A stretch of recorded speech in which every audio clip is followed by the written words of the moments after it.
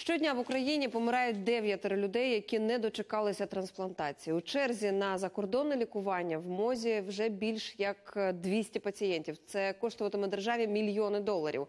Чому в Україні, попри обіцянки Міністерства охорони здоров'я, це досі неможливо? Дивіться в сюжеті Лариси Зубенко. Алла та Віта серед тих, хто чекає відповіді від мозу щодо закордонної трансплантації. Їхньому батькові Віктору у квітні поставили діагноз рак крові. Потрібна пересадка кісткового мозку вартістю 100 тисяч доларів. Родина таких грошей не має. Сьогодні чоловік проходить вже другий курс хіміотерапії. У Мінздраві документи Віктора спочатку, начебто, втратили. Пізніше стало відомо, пацієнти, які подали заявки після 2 липня, отримають кошти на лікування лише у 2020 році. Про це міністерство повідомило у своєму дописі на Фейсбуці. Два тижні ми дзвонимо до е, е, канцелярії. Трубки вони там не беруть. Є номер е, секретаря комісії. Секретар комісії виходить на зв'язок, але е, документи два тижні до неї дойти не можуть. Тобто це якби затягування часу. І ще 234 таких, як Віктор, стоять в черзі на пересадку того чи іншого органу. І це лише ті, хто офіційно попросив допомоги у держави. Для прикладу, у сусідніх Молдові та Білорусі трупну трансплантацію проводять давно. Туди й направляють українців. Та сподіватися на пересадку органів за кордоном ризиковано.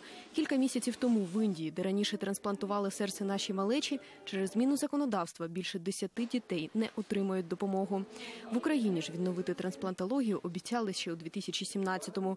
Цьогоріч у мозі на розвиток трансплантації в Україні виділили 112 мільйонів гривень. І вже було е, 40 лікарів, які навчені мають сертифікати і можуть вже працювати на рівні лікарень. Вже є чотири лікарні, які визначені, які будуть надавати послуги е, саме трансплантації. І ем, ну, крок за кроком це є досить складний процес. Ми е, працюємо, щоб до кінця року система спрацювала, і ми зможемо вже від наступного року ем, е, надавати ті послуги. Та на що витратили гроші? У громадській організації Національний рух за трансплантації стверджують, необхідну для операції апаратуру досі не закупили.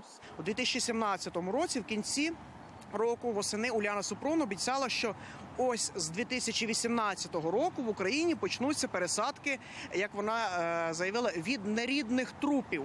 Що правильно говорити, від трупних донорів. Ну але вже це так таке. А пройшов 2018 рік. Зараз уже 2019 рік. Е, В Україні пересадки від е, трупних донорів не роблять, і ми продовжуємо відправляти людей за кордон. Так само в Україні не роблять пацієнтам, дорослим. Пересадки кісткового мозку. Ми також цих людей відправляємо за кордон. І реєстрів досі немає. Вони десь там тестуються.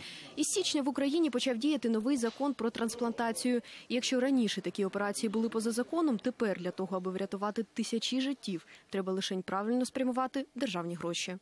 Лариса Зубенко та Олексій Шматов. Подробиці телеканал Інтер.